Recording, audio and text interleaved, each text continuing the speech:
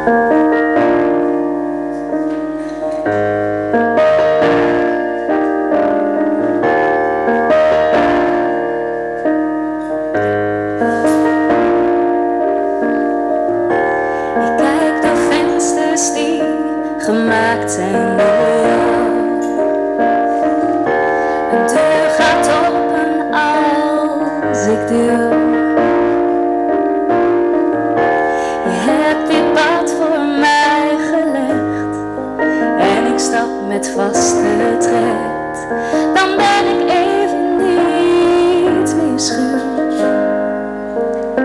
Ik spreek de woorden uit jouw boek, we slaan weer wat zij en ons hoofdstuk gaat door.